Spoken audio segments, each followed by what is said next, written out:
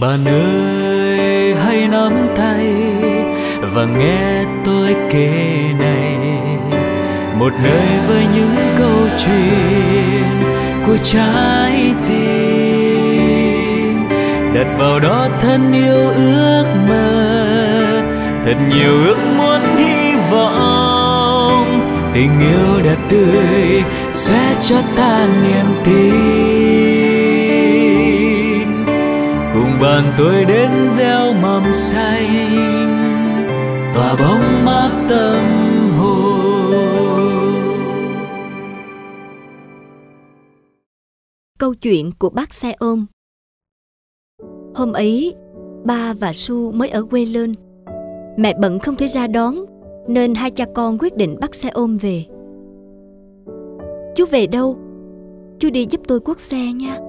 Chú làm phước tối nay cho tôi về sớm. Vâng thưa bác, nhưng mà con có hai người sợ bác không chở được. Trời, tôi nhìn vậy nhưng khỏe lắm mà. Hai cha con cứ yên tâm. Bác làm nghề lâu chưa? Tôi làm nghề lâu rồi, cũng phải tới chục năm có dư đó. Bác ở Sài Gòn hay ở dưới quê lên?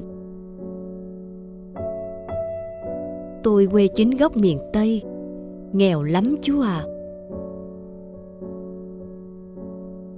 Hồi lên đây tôi có mình ơn, nhưng giờ tôi có thêm một đứa con gái nữa. Má nó chê tôi nghèo nên đi tìm cuộc sống riêng rồi. Con gái bác lớn chưa ạ? À? Nó lớn rồi chú à, vừa thi đầu đại học. Nó xinh và ngoan ngoãn lắm. Dạ, con mừng cho bác quá. Ông ấy vất vả quá.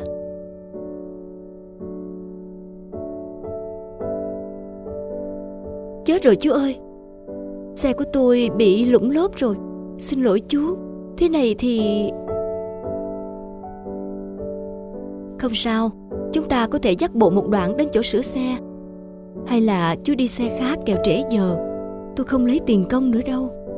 Không, thưa bác, ba con cháu đợi được à?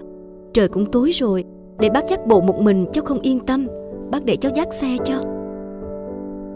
Tôi thiệt may mắn, bữa nay gặp cha con chú, gặp người khác, không biết họ có thể thông cảm cho tôi như thế không?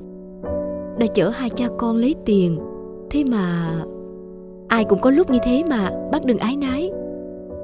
Bữa nay tôi tính về sớm nấu cơm cho con bé để ngày mai nó đi học. Ngày nào cũng đi làm về trễ nên lâu lắm rồi hai cha con chưa được ăn cơm cùng nhau. Vậy chúng ta mau tìm chỗ sửa xe cho bác còn về nhà cháu cũng gần đây thôi. Bác về ăn cơm với em kẻo muộn, hết bao nhiêu, cho cháu gửi tiền công với ạ. À. Tôi làm trễ giờ, Bắt hai cha con đi bộ, Tôi không dám nhận đâu.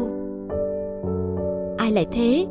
Bác nhận cho ba con cháu vui à Chúc bác và em có một buổi tối vui vẻ nha. Ba con cháu đi bộ xíu là về đến nhà rồi.